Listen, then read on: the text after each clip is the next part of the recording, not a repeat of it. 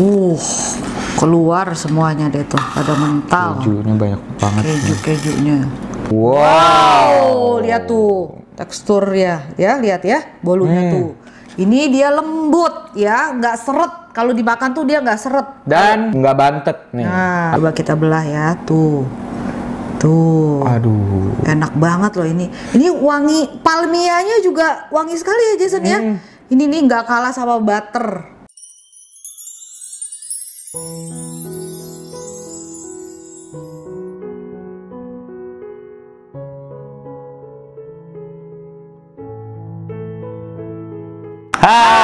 Jumpa lagi bersama dengan kami, Emam. And I'm San.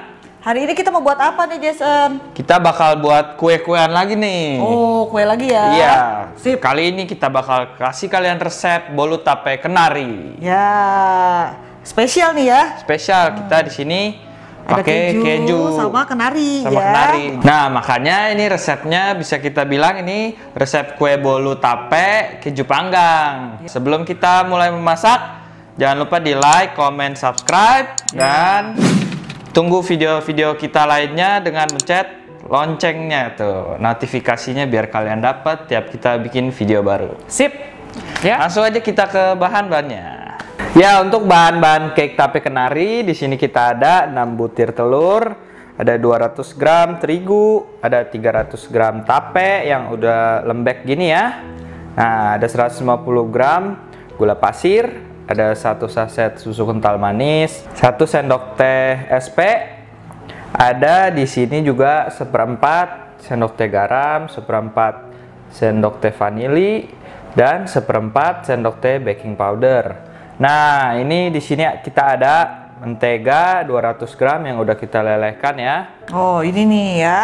Nih kita pakai yang merek Royal Palmia ya. Kabar gembira nih buat ibu-ibu nih semua nih ya yang suka buat kue. Ini nih bagus banget ya. Ini sebenarnya seperti butter banget bukan bukan margarin ya. Jadi nih wanginya juga wangi eh, butter. Terus harganya juga terjangkau banget nih ya. Satu saset gini isinya 200 gram ini cuman 7 ribuan ya. Wow. Kalau beli butter 200 gram itu berapa coba ya?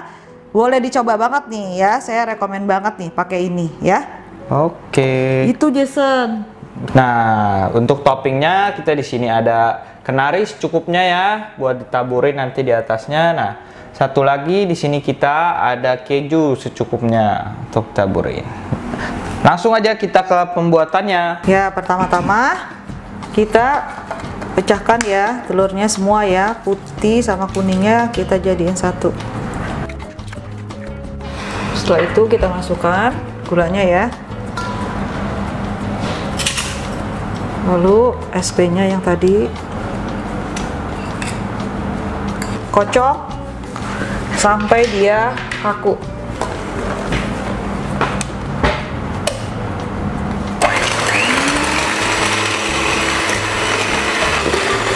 Nah ini udah kaku ya, tuh ya, udah ber- berjejak tuh seperti ini nih. Kita mati dulu sebentar. Kita panaskan oven, terus suhunya 180 derajat ya, api atas dan api bawah. Masukkan SKM-nya ya, satu saset. Terus kita masukin garam. Kita masukin juga vanilanya. Kita saring dulu ya. Terus kita kocok lagi.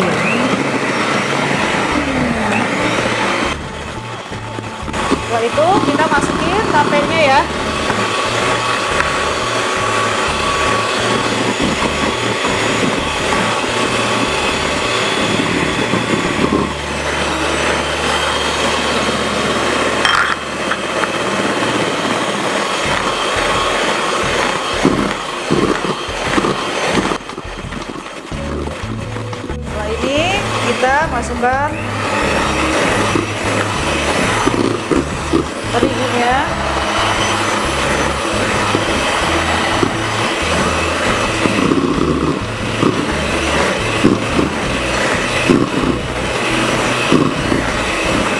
Sedikit-sedikit aja ya, jangan langsung. Tadi sebelumnya terigunya saya udah ayak dulu nih.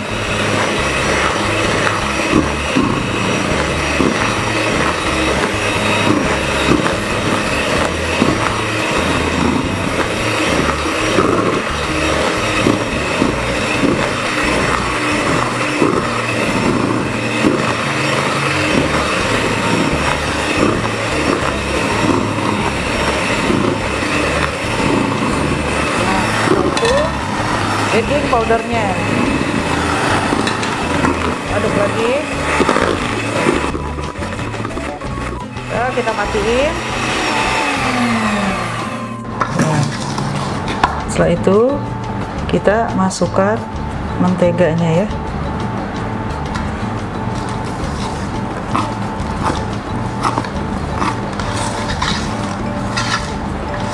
aduk terus ya menteganya jangan sampai dia mengendap ya di bawah. Nah. Setelah rata. Ini tadi ada cetakan. Saya pakai cetakan yang tengahnya ada lubangnya. Saya kasih dia ini apa namanya kertas roti sama pinggirnya juga ya. Kalau nggak ada kertas roti nggak apa-apa. Diolesin mentega aja ditaburin tepung ya. Hmm. Butternya wangi ya beda dia dengan margarin yang lain nih uh.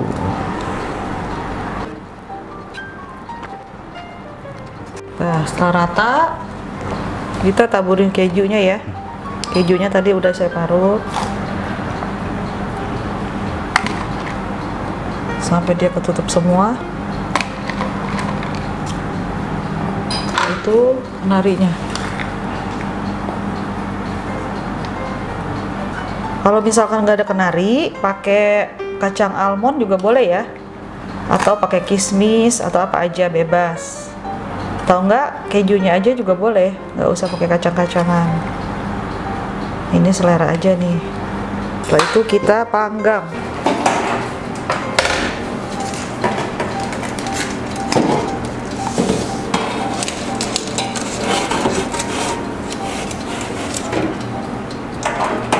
ya kita panggang 30 menit ya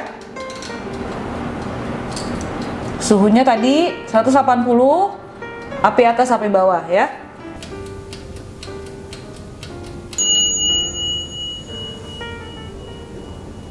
Ya, udah bunyi ting ya, udah 30 menit. Kita lihat dulu kuenya. Kita tusuk. Wow. Kayaknya belum ya. Tuh, belum matang ya. Kita bakar lagi, kita panggang lagi. Kira-kira 20 menit lagi ya.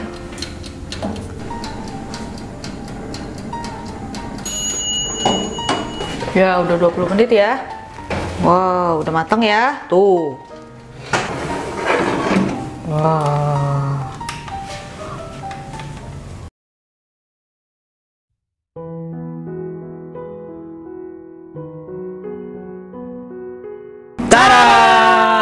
Sudah selesai pembuatan kuenya hari ini. Wah, ini enak banget nih kelihatannya nih ya. Wow. Kenari sama kejunya itu tuh bikin perut keroncongan nih. Wah, harumnya mantap ini banget.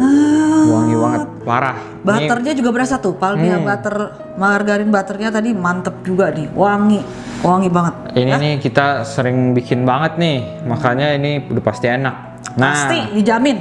daripada kita ngomong terus, mendingan kita langsung potong, Potong aja. aja, kita coba ya Jason. Kita coba langsung. Uh, bunyinya sampai gres, gres, gres. Garing tuh. Wow. Wah. Ini Jason. Kacangnya Coba. ntar jatuh. Kenarinya ya. iya nih. Ini karena isiannya banyak banget nih. Tatakin aja ya, tatakin, Iya, boleh. tatakin. Tuh, ayo Wow, makan. makan. Bisa pakai ini, bisa pakai Ah, tangan. nggak usah deh, pakai tangan aja. Oke, sip, makan. Bagaimana rasanya? Hmm. Uh, pasti mantep ya. Enak banget ya. Lembut banget kuenya. Hmm. Terus tapenya tuh berasa banget. Nah, dicampur sama si kejunya crispy, Mm, sama kenari. kacangnya juga crispy. Ya gurih ya. Gurih, Wah, ini mah udah pasti enak banget lah. Harus Gurih, dicoba banget ya asin, ibu-ibu. manis, enak banget. Harus dicoba ya semuanya. Nih, Hmm. cobain. Mami. Coba mami.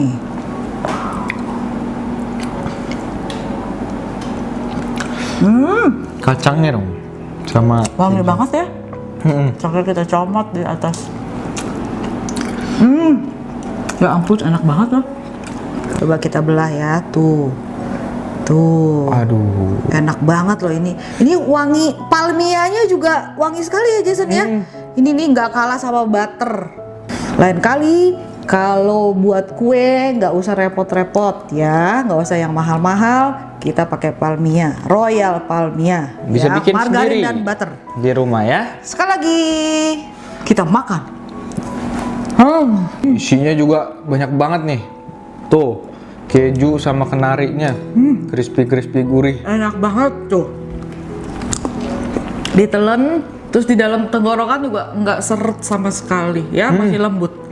Dan ini tuh manisnya pas loh. Mm-mm. Pas manisnya, nggak kemanisan.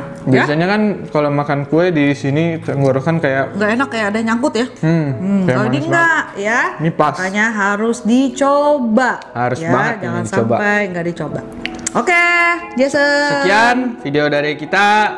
Ditunggu di video berikutnya ya. Dadah. Bye bye.